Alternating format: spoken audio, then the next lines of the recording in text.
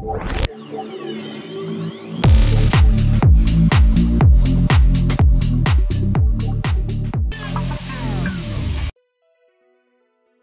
привет!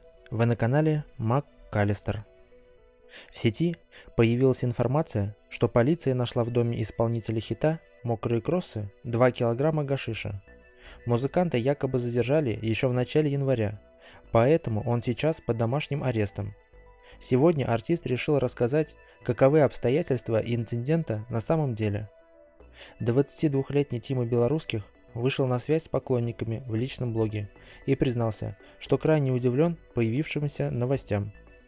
Артист назвал информацию о задержании вбросом и поспешил откреститься от употребления запрещенных веществ. Я до последнего игнорировал ситуацию, но вижу, что делать это уже нереально, потому что появилось много диванных комментаторов. В общем, ребята, заявляю вам открыто. Все, что вы читаете, неправда. Я нахожусь дома, но не под арестом, Ребятки, наркотики это плохо. Обратился он к пользователям сети. Впрочем, в СМИ появляется довольно противоречивая информация. Так, например, белорусские журналисты публикуют фотодоказательства, на которых Тима запечатлен в момент ареста в здании МВД.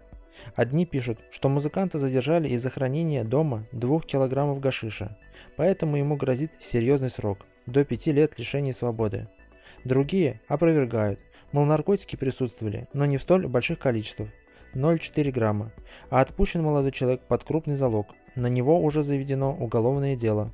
О том, что инцидент все-таки имел место быть, сообщила и пиар-агент белорусских.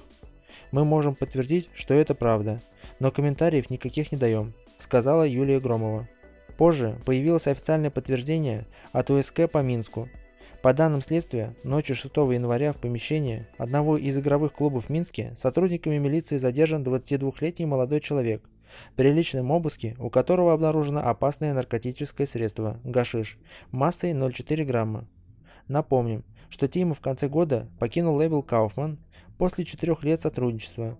артист не стал комментировать расторжение контракта, объяснив, что попросту хочет открыть в себе новые творческие грани – я не стремлюсь понравиться и угодить всем, просто ценю тот факт, что вся эта история не безразлична кому-то из вас. А это значит, что этому не будет конца, писал он в своем личном блоге. Если вам понравилось это видео, поставьте лайк и не забудьте подписаться. Всем пока!